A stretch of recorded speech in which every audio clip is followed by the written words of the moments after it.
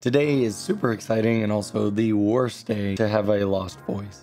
oh, how am I going to do this? I have DaVinci Resolve. I'm getting a super early look at DaVinci Resolve for the iPad, and so I wanted to share my initial thoughts with you guys. And I also posted on my social media asking if you guys had any questions you wanted me to answer. So make sure you go follow me on Instagram, Twitter, and all those various places. Did that help at all? Nope. All right, cool. So this video's got a little inception-y to it. So I just filmed a video where I went through all of the initial features and discoveries that I made while first using DaVinci Resolve. The whole point is to make the whole video on the iPad. And so before we get into answering your guys' questions and running through all the features, I want to take that video I just filmed and start the project and kind of show you what it looks like to begin and edit on here. So I filmed it on my Pocket 6K, which is hooked up to T5 drive, so it's directly on here. I'm going to open up DaVinci Resolve for the iPad. Creating a project is just like on the desktop, DCI. And now we're going to import our media. It's automatically going to use the Files app. You also can use the Photos app. If I right click using the trackpad, or if you don't have a trackpad, using the pencil or your finger, you right click by long pressing and you'll see an option for import to photos as well. But I'm going to use here, I'm to go to the drive, B-raw file. For the first time ever, I can import B-raw files onto the my iPad. That's just awesome. Of course, I want to cut it down from here. And before I start cutting, I always color grade uh, the one long clip. The first thing I'm going to do is actually scale to fit. It's so nice to have the muscle memory of being on the computer and it just instantly translate to the iPad version. When I use apps like LumaFusion, I'm always like, oh, where is this button again? Because, you know, you're using multiple programs. It just feels like I'm using Resolve. Now that that's scaled to fit, going on here, bring up my nodes, shortcuts all work the same, and just go through and make a couple corrections. It's on and off. You can see before and after. I'm happy with it. I'll go back to the cut page. I still hate the cut page because the waveforms aren't very big. And everyone always tells me like, oh, just turn on this thing, which basically when you are cutting, it will bring big waveforms up. So if I make a cut there and start dragging, it will do this. That doesn't help me. I want to be able to go through, see big waveforms, be like, cut here, cut here. So now to make my life even easier, I have the speed editor hooked up. That's right, I also have my iPad footage that I'm syncing, and this time actually from photos. I'm going to add that in, add it on top, beautifully synced up. The speed editor wirelessly, like there's essentially zero latency. It is so incredibly smooth. I absolutely, I've always loved this thing using it on the computer, but as a standalone device for Resolve on the iPad, I'm not gonna say it's a necessity, but you will definitely become a faster editor using something like this. The only annoying part with uh, on the cut page is since I can't link them together, when I go to make a cut, I hit split. Thankfully it splits both clips, but then to get rid of this, I have to select both and do this. Now with my finger, it's actually really nice because with the mouse, it would take like two or three fingers and a couple seconds to do it. This is actually super fast to just swipe down with my finger. It's a little annoying if you have two clips that need to remain in sync like this. I probably should learn the proper way to use the sync bins and multicam stuff. Anyways, that's how I'm setting up this project. Let's jump into the details of my first impressions for Resolve. How many of you out there use your Mac to record video? Like I am on my basic webcam right now. Maybe you do podcasts, maybe you do a bunch of Zoom call meetings, maybe you record tutorials. We've got a couple problems. One, if you want to make your production look really good, you got to add a lot of cameras, different angles, top down, side, maybe something more professional than a webcam, kind of like like this like this. And I know what you're thinking. I know what you're thinking. Michael, you have a very expensive uh, switcher right here, or you're using these big interfaces. Nope, I am simply using the Detail app, which as you can see is a super simple interface where you can set up multiple different cameras and screens and utilize all the existing equipment you have, whether that is a you know, mirrorless or cinema camera, or something like your phone, which is gonna be a much higher quality camera than what is built into your webcam. We got the iPad as kind of a cool behind the scenes shot. And you have so many different options for how you can set up combo scenes. And since any iOS device can be connected through the Detail app, it's super fast to set up. And as you can see on our live timeline right here, you can see the video being edited together. So say goodbye to hours and hours of going back and cutting podcasts together. And there are so many more brand new features that just came out so definitely check the link out in the description below, download Detail completely for free, and see how you can step up your videos today. Huge thanks to Detail for sponsoring today's video. Let's get back to it. But we can confirm that it will be uh, free to download.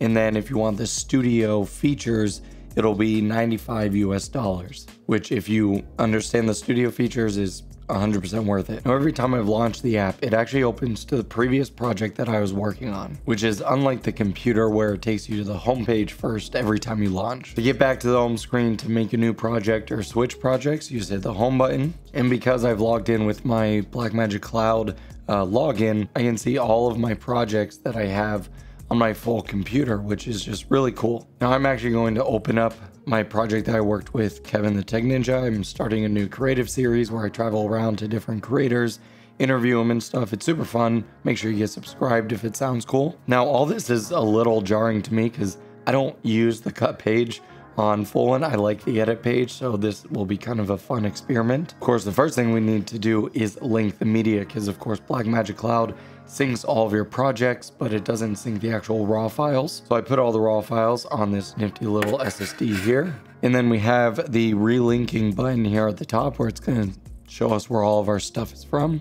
And I just have to relocate the drive and point it to the folder where all this stuff should be. And so I guess I grabbed all the files except for music and sound effects, but that's fine for our purposes here. Now, kind of as we expected based on the screenshots and rumors, pretty much all the features seem to be here. To point out a couple questions I got on a YouTube short, does editing with a pencil speed up or slow down your workflow? The pencil is definitely a nice touch to have. What I find myself doing, and I've used this in basically every editing app is I use a mix between the two. Where I especially like it is if I go into the color page, I primarily will just use uh, the pencil because it feels way more accurate for adjustments than using the mouse and trackpad. Joe Alias, uh, can you keyframe ease in when zooming in, position changing, also do title presets change in the iPad. So let's go to one of our clips here. I'm just gonna choose the one of me. Now, I don't know if you use Resolve,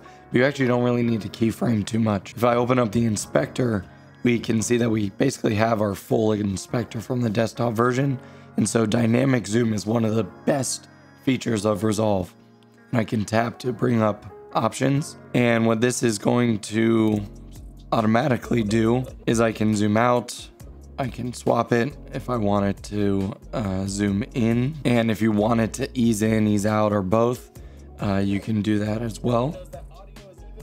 Dynamic zoom is incredible, and you can even do your uh, custom changes within that. So now I'll zoom out from that.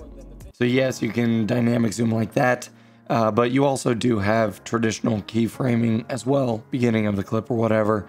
And I can hit the keyframe button that's still there go to the end and maybe zoom in.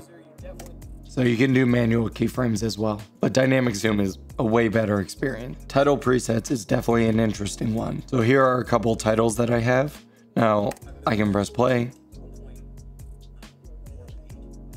And we can see that the titles look the exact same way they do on the desktop version. But where we run into issues is when you have imported like third party presets I use Motion VFX all the time. Their presets are incredible, but obviously, at least as of yet, they don't have an iPad version. Motion VFX, if you can create a iPad integration, uh, that would be incredible.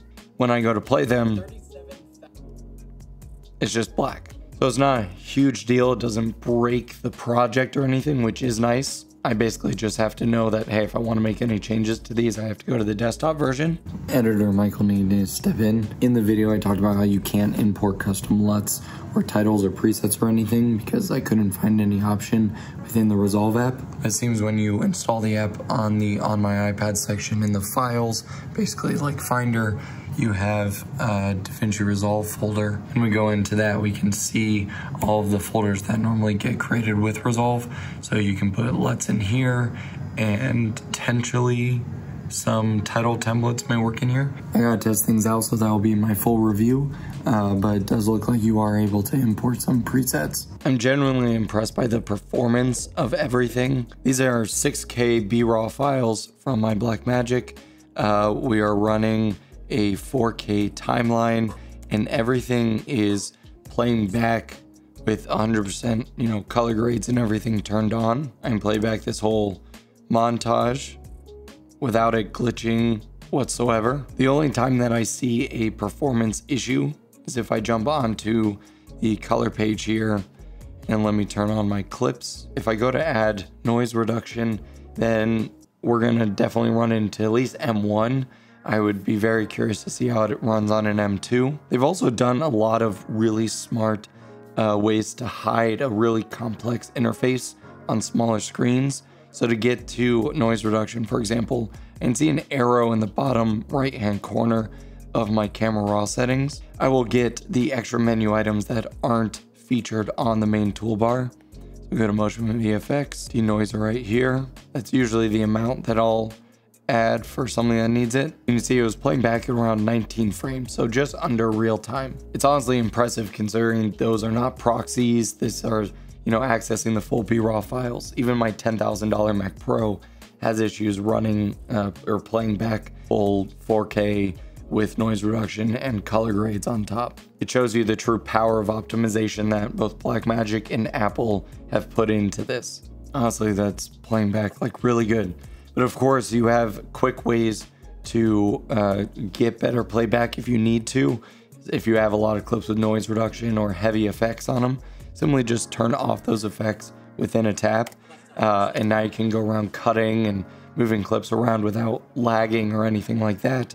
Turn it back on when you want to see it. You can even go full screen. You can also easily change your timeline resolution if you're running into real issues right next to the effects on off, you can essentially go from 4K to like a 1080p timeline. And now even with noise reduction, it plays back just fine. While you certainly can work with proxies on here, I haven't found a way to generate proxies or optimize media. So you'd have to create those on the desktop version, move them onto a drive to edit off of if that's what you want to do.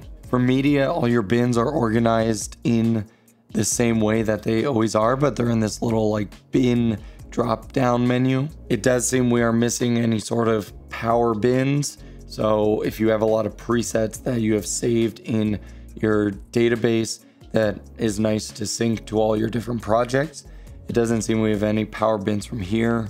And same thing goes with, oh no, we do. So on the color page, it seems we have our power grades, which is really nice. These are basically like not LUTs, but you know, for non DaVinci Resolve people, it's the equivalent of like having project LUTs that get synced to all of your projects. As expected, you can hide, uh, you know, whatever you're currently not working on, which is really nice. On the cut page, uh, you know, your inspector is hidden by default. If I turn off titles, I get a nice big viewer. And down here is where I can make all of my cuts happen. And of course, the export options is exactly what I made in my prediction rumor video, uh, where it's basically the full quick export and you can just choose what codec or format you want it to go to. Over the coming days, I want to see exactly where this fits into the workflow now. As the title and thumbnail suggested, I'm making this entire video on the iPad. So again, if you have any questions, leave them down in the comments and I'll make sure to answer them in my next iPad video. I appreciate you suffering through this video with me with my terrible voice. Super stoked that Resolve is here for the iPad. Thanks for watching. I'll see you guys in the next one.